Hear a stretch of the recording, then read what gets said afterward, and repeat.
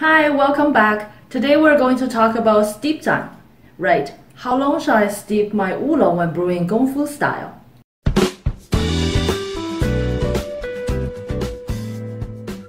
Today I choose the pearl shape oolong because it's a common oolong shape. I'm going to put about one third of the vessel. Gaiwan teapot, it doesn't matter which vessel you use, but that's about the uh, guideline. And uh, we're going to brew that with boiling water. We have videos explaining leaf amount and water temperature. I will put the link above. So first, give this a quick rinse.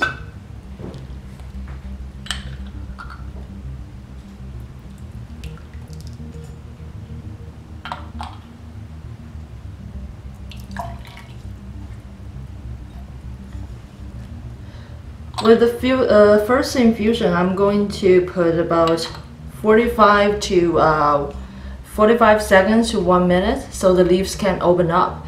And when the leaves are about 80% open up, I'm going to pour the tea out.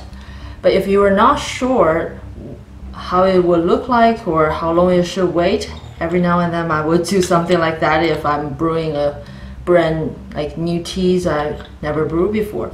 So it kind of gave us a chance to see where the liquor is at and where the leaves are at. So when I think the liquor is about right, I start to pull it out. And you can see that the leaves are not fully open, but it's quite loose already. And after I drink the first infusion, we're going to do the second one which will be pretty quick compared to the first one. I'm expecting like 5 to uh, 10 seconds and pull that out.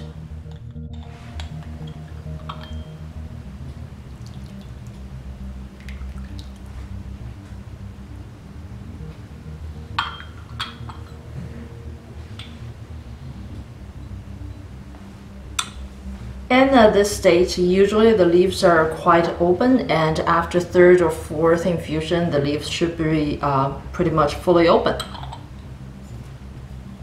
So third infusion, give it a little bit longer, will be, I'm thinking about 20 seconds to 30 seconds. And as you probably notice, I put not too much tea leaves. I would ideally want the leaves to be a little bit curved up, like a little bowl in the gaiwan. So I'm going to give this a little bit of extra time while I'm enjoying the second infusion.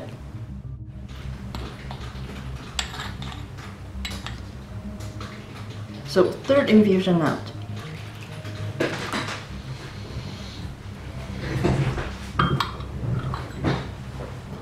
And as you can see, it's a quite uh, it's quite a fast infusion compared to the um, English style big teapot and you can do um, four, five infusion and just add about five or 10 seconds every successive infusion.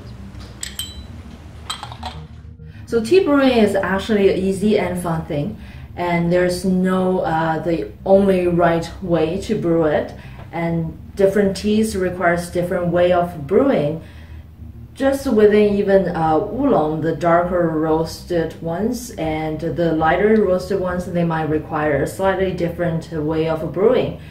And um, just have fun trying it and find what suits you the most. And uh, in terms of um, water temperature and vessels and steep time, what we give here is just a guideline, a recommendation that it can be a really good starting point and you know change it adapt it as you go. And sometimes we don't have everything perfect. Uh, just remember the key things in terms of brewing, the leaf amount, the vessel size, the water temperature, and um, the steep time. So practice as much as you can and eventually you will get good at brewing your perfect cup of tea. If you like this video, please give us a thumb up and feel free to subscribe to our channel for more videos about Chinese tea and see you next time.